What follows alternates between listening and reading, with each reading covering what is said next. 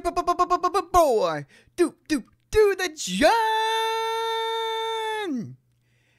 Thank you so much for watching this video. Much appreciated. If you like the content, please hit the sub button if you haven't already. Hit the notification bell to let you know when I post another video for you guys. Hit that like button. And if you want, leave a comment and say hi. And if you like video game content, I stream Monday to Friday, 9 p.m. Central Time on glimesh.tv slash do to Jon. Link is down below. Now let's get into this video, shall we? Hey everybody, this is What If We Harness Zero Point Energy? You guessed it by What If. Imagine if we could collect energy out of thin air. That'd be kind of cool. I mean it quite literally. You know how you were taught that a vacuum is nothing but empty space? Well, that isn't exactly true. At least No? in the world of quantum mechanics. If you dive deeper, below the level of molecules, atoms, electrons, and protons, and into the world of the tiniest subatomic particles like quarks, you'll see that even the vacuum of space can never be truly empty.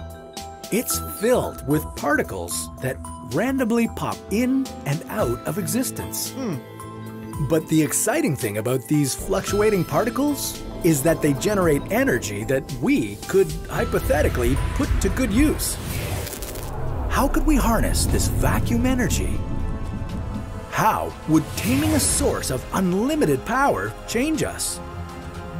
And why could this be dangerous for the planet? I can This is what if. reason. And here's what would happen if we harnessed zero point energy. Don't be spooked by its complex name. Zero point energy is simply the vacuum energy we just talked about.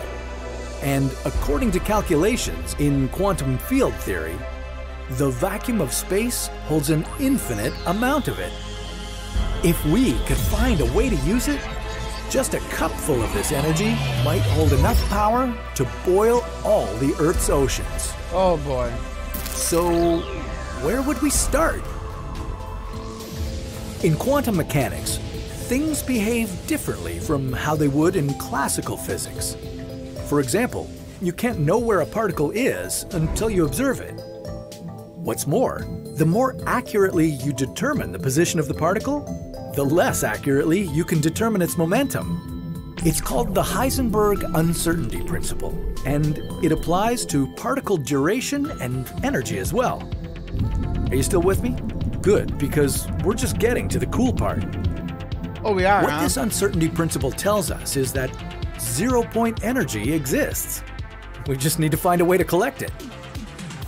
How would we do that? No idea. The vacuum of space is really cold, right? But it's not the absolute zero kind of cold, more like 2.7 Kelvin. To transfer zero point energy, you'd simply need a colder source to receive that energy. The problem is, it's not possible as far as our technology goes. We can't pull the energy out of nowhere unless we could reduce the vacuum energy in a region of space first. Okay. According to the second law of thermodynamics, the vacuum would try to fill in the gap. And that's where we could interfere and collect the zero point energy. But this method wouldn't be that effective because we'd spend more energy trying to extract the zero point energy. I know, it seems like a dead end, but let's do what we usually do in a case when the existing technology hasn't caught up yet.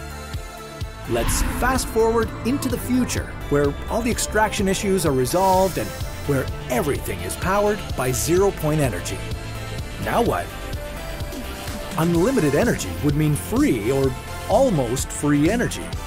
We'd have free public transportation and we would all drive electric cars. Everyone, including developing countries, would have access to cutting edge technology and to the internet. Non renewable energy sources would be a thing of the past. Even the renewable sources we use today would be obsolete. Why would we need solar energy farms if we could automate the extraction of unlimited zero point energy and never need to worry about power again? But As with all things we have in excess, we could start overusing the energy too. The planet might be free of emissions from fossil fuels, but it doesn't mean that there would be no new threats from energy consumption. We'd need our governments to regulate how we use all that energy. Maybe it would be a good idea to focus on exploring space. Powered by the infinite amounts of zero point energy, we'd be able to go across the solar system in a matter of hours. We could start mining asteroids and terraforming other planets. And maybe one day we'd decide to relocate humanity altogether. But that's a story. Yeah, it's kind of cool. Um, very interesting. I love to live in a future like that. but you know, our governments will find a way to make us pay for it, even if it is free. Thank you so much for watching this video. Much appreciated. Join the, join the Guilded server, join the community. Invite link is down below. I will see you guys in the next video. And as always, you are loved.